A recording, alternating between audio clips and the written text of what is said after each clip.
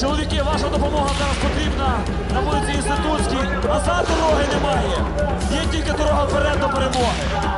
Это кадры из фильма «Герои не вмирают». На них одно из самых кровавых событий революции достоинства – стрельба на улице Институтской в конце февраля 2014-го.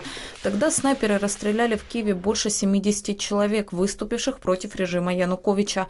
Среди них три харьковчанина – герои Небесной Сотни Владислав Зубенко, Евгений Котляр и Юрий Порощук.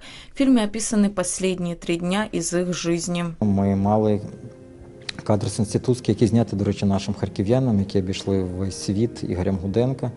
І всі троє хлопців е, прямо в кадрі е, на клаптику одному на протязі там 10 хвилин гинуть. І цей оператор він випадково стояв за білбордом і знімав. Кинолента «Герои не вмирают» – документальный фильм. Большая часть картины снята аматорами еще во время Майдана. О последних днях жизни харьковских активистов рассказывают их друзья и родственники.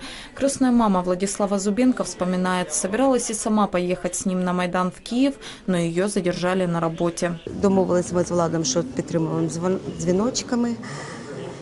І ко- через кожну годину він повинен був мені просто ма- маякати. Ну так як 20-го не було дзвіночки, я почала сама.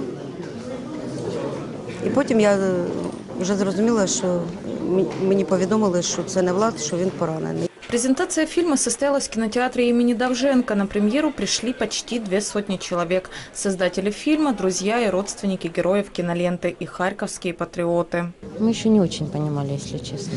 Мы потом стали патриотами, тогда еще не очень понимали. Я следила за этим, я просыпалась с единственным желанием в интернет и смотреть, что происходит на Майдане. Я все это переживала очень, очень близко. На премьеру фильма попали не все, не хватило мест в зрительном зале. Второй показ авторы запланировали на ближайшее время. Также киноленту покажут за границей на международных кинофестивалях. Ирина Антонюк, Алексей Жучков, медиагруппа «Объектив».